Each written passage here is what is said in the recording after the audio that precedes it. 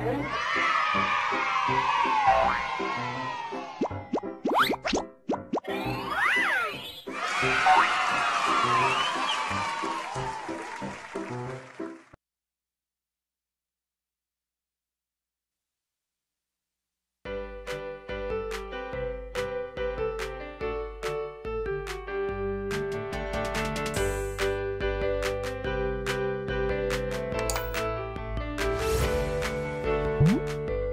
Pusat Tata Surya, episode 41 untuk teman-teman kelas 2.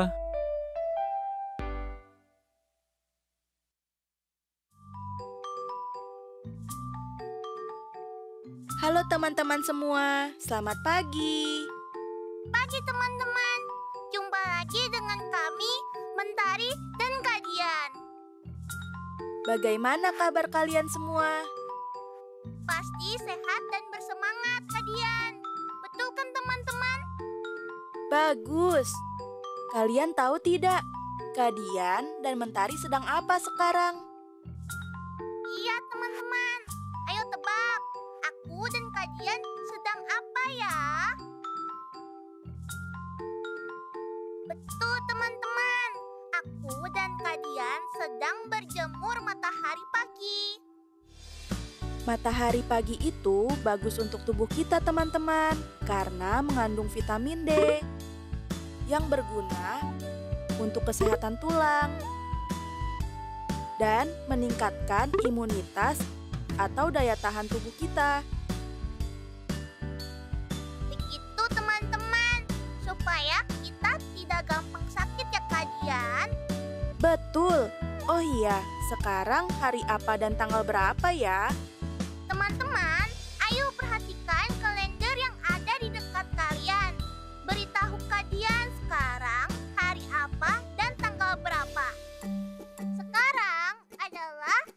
Selasa 2 Maret 2021.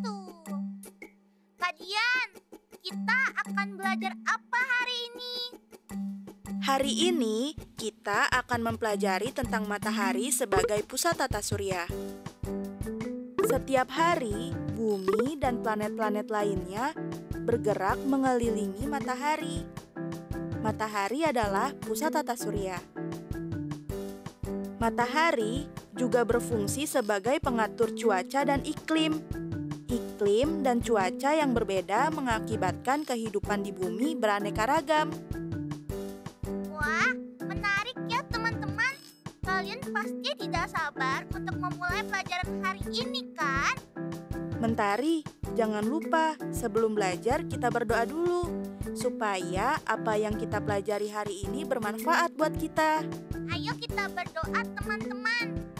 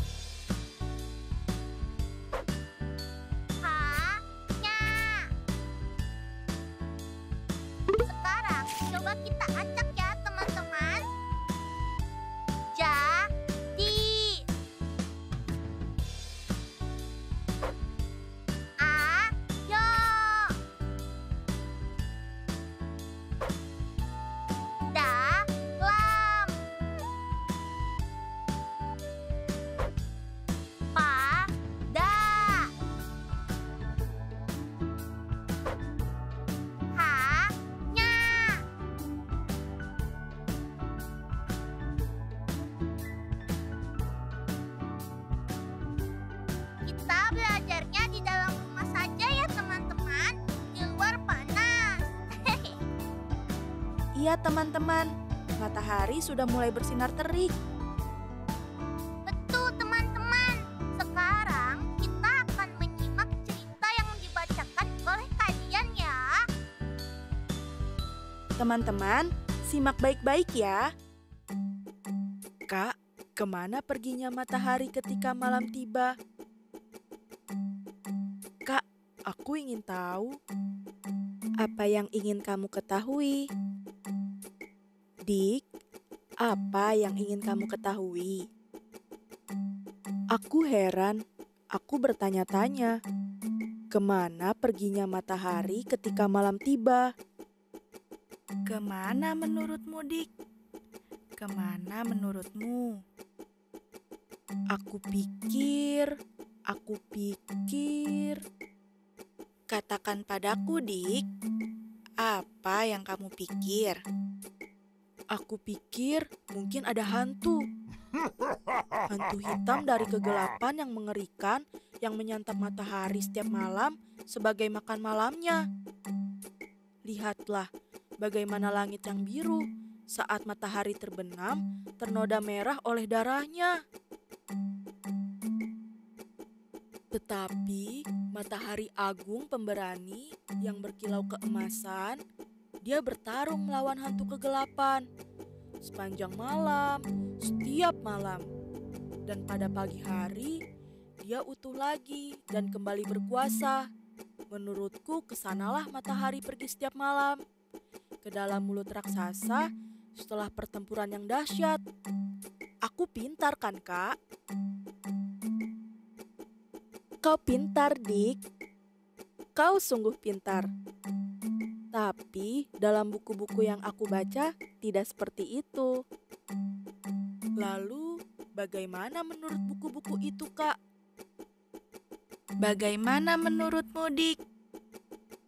Bagaimana menurutmu? Menurut aku, menurut aku, katakan padaku, Dik. Apa pendapatmu?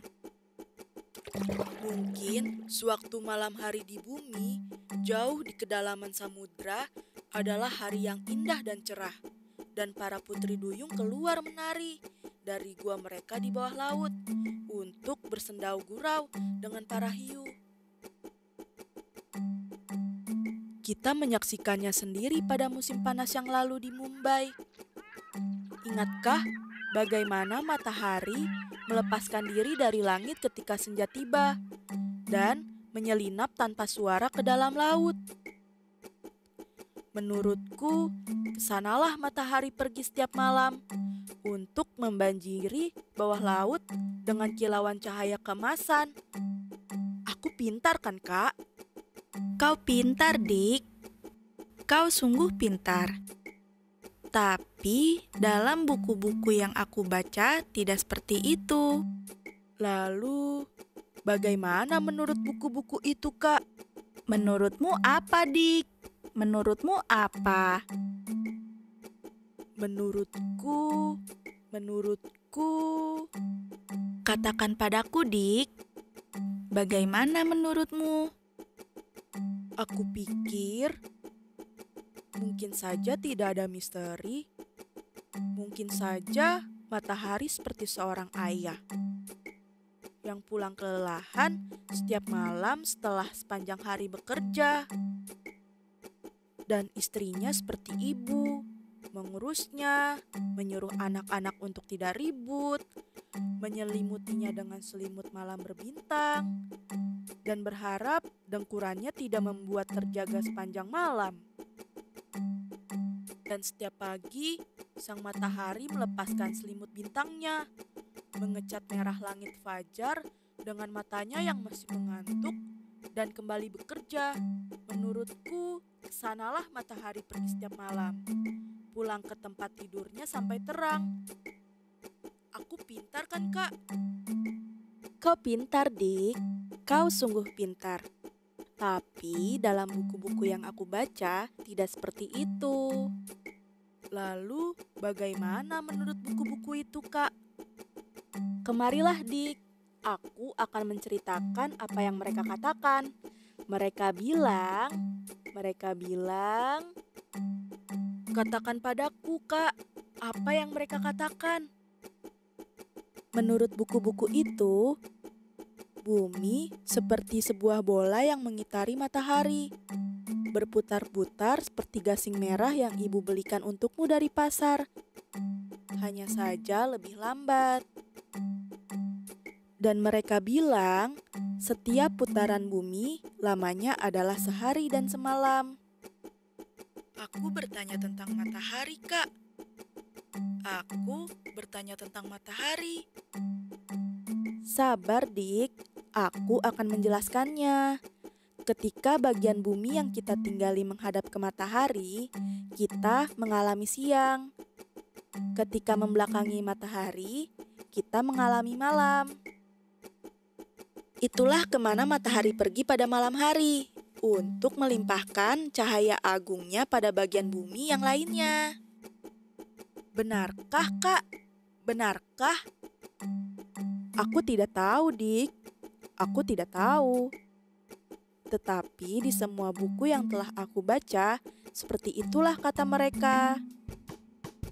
Wah, ceritanya bagus ya teman-teman. Kita jadi tahu ke mana perginya matahari saat malam tiba. Jadi setiap malam matahari akan pergi ke dalam mulut raksasa. Bukan mentari, salah.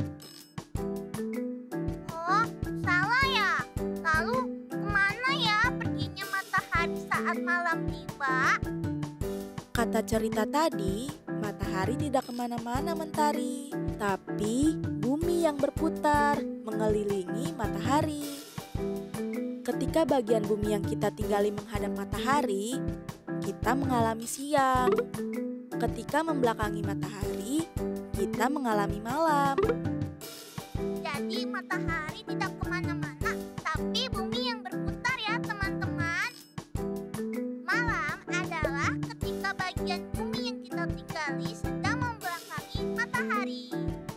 Hebat!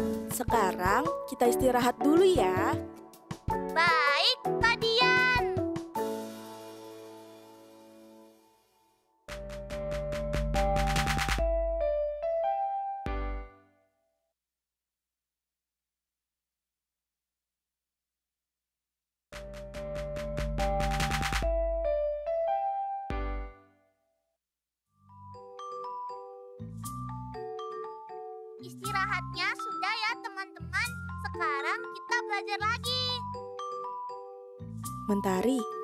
Menurutmu berapa perkiraan hasil dari 85 ditambah 195 ditambah 395? Hmm, menurut perkiraanku sepertinya 500 kadian. Masuk akal tidak ya? Bagaimana menurut teman-teman di rumah? Apakah jawaban Mentari masuk akal? Ternyata jawabanmu tidak masuk akal, Mentari. Kenapa begitu, Kak? Coba perhatikan penjelasan Kak Dian ya. Angka 395 mendekati 400. Angka 195 mendekati 200. Kalau 400 dan 200 dijumlahkan, hasilnya 600. Itu saja sudah melebihi 500.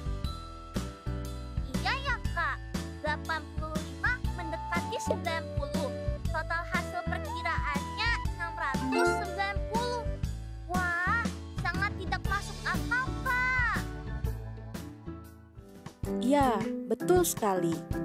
Oh iya, Mentari, coba lihat poster ini. Kamu tahu poster apa ini? Poster tata surya, Kak Dian. Betul.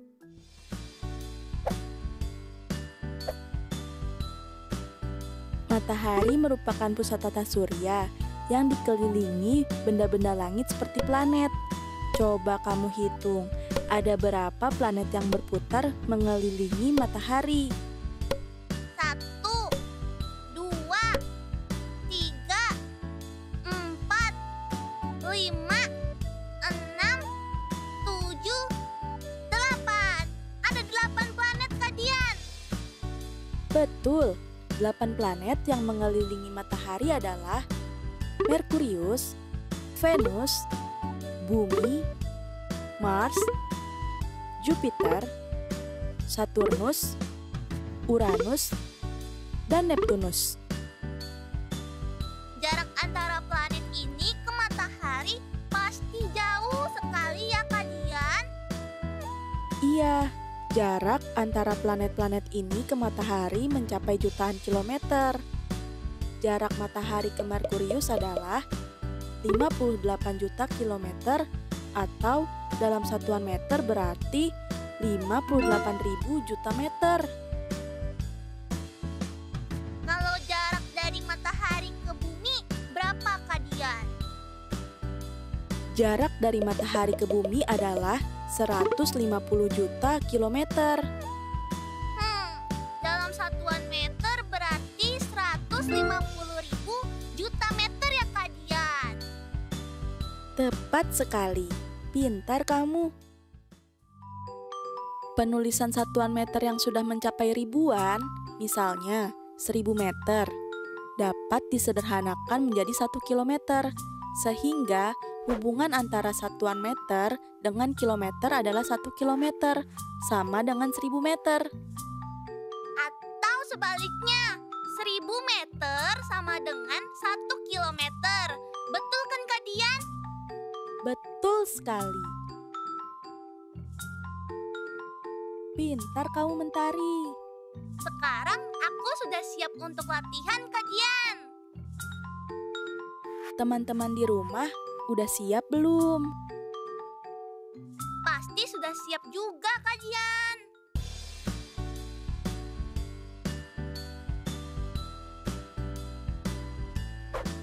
Pertanyaan pertama. Jarak rumah Feby ke rumah Rini adalah 3 km. Berapakah jarak rumah Feby ke rumah Rini dalam satuan meter? Aku tahu Kak Dian. 3 kilometer sama dengan 3000 meter Kak Dian. Betul. Pertanyaan kedua. Joni berlari sejauh 7000 meter. Berapa kilometer jarak yang ditempuh Joni? Sama dengan 7 kilometer. Bener kan Kak Dian? Wah, benar lagi. Sekarang, pertanyaan terakhir. Jarak rumah ke kantor ayah sejauh 8 km. Berapa meter jarak yang harus ditempuh ayah setiap pergi ke kantor?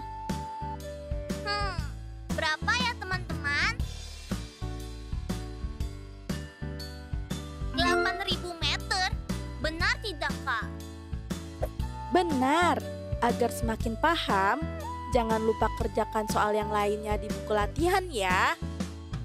Sekarang, coba jawab pertanyaan ini dengan cepat dan tepat ya. Siap Kak. Mulai ya, 5000 meter sama dengan berapa kilometer? 5 kilometer. 8 kilometer sama dengan berapa meter? 8000 meter. Berapa meter sama dengan 6 kilometer? 6000 meter. Wah, cepat sekali kalian menjawab. Dua soal lagi ya. 12 kilometer sama dengan berapa meter? Hmm, 12000 meter bukan ya? Betul. Terakhir ya, 7000 meter sama dengan berapa kilometer? 7 kilometer. Wah, Kak Dian bangga sekali. Mentari dan teman-teman cepat sekali belajarnya. Terima kasih Kak. Ini karena Kak Dian sabar sekali mengajari kami. Sama-sama Mentari. Teman-teman, jangan lupa untuk rajin latihan di rumah ya, agar semakin paham.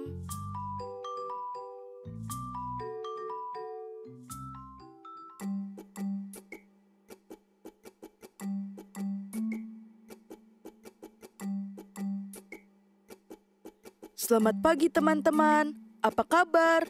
Jumpa lagi dengan aku, Surya. Aku mau mengingatkan kalian tentang proyek akhir minggu kita. Kalian tidak lupa kan? Bagus. Proyek akhir minggu kita adalah membuat poster manfaat matahari bagi makhluk hidup di bumi. Contohnya seperti ini. Iya, alat-alatnya sudah kalian siapkan belum? Ada yang sudah, ada yang belum. Buat kalian yang sudah siapkan alat-alatnya, hebat. Bagi yang belum, ayo disiapkan teman-teman. Nah, hari ini aku akan menggambar matahari. Aku gambar dulu ya teman-teman. Seperti ini gambar aku. Bagus kan teman-teman? Jangan lupa diwarnai juga ya. Jangan salah, matahari itu berwarna kuning. Besok kita lanjutkan lagi ya teman-teman. Sampai jumpa.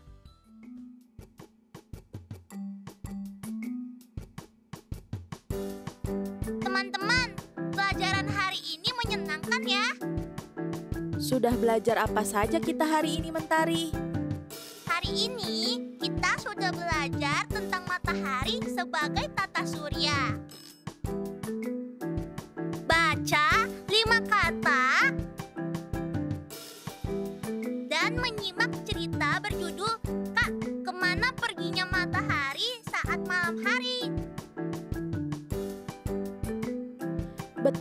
Mentari. Lalu apalagi yang sudah kita pelajari? Aku ingat, kita belajar memperkirakan hasil penjumlahan tiga bilangan, puluhan, dan ratusan. Kita juga sudah belajar nama-nama planet ya. Ya, sambil belajar nama-nama planet, kita juga belajar dan latihan menjawab soal tentang satuan meter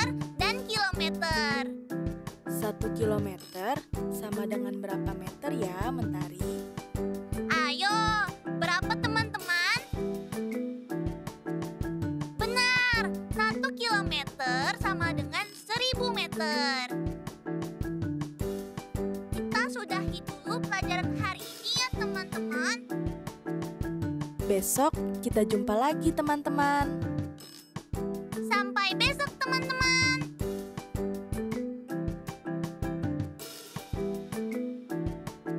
Sekarang tetap belajar dari rumah ya teman-teman.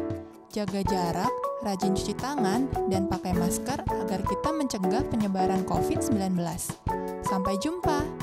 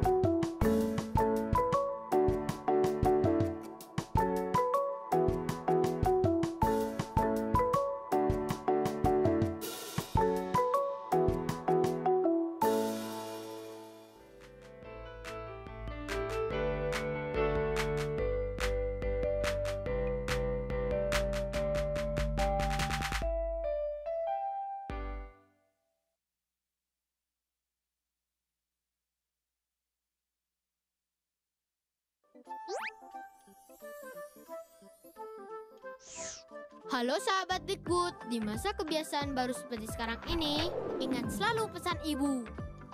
Keluar rumah kalau penting saja ya nak, ingat untuk selalu 3M. 3M itu mudah dilakukan dan bisa mencegah penyebaran virus corona.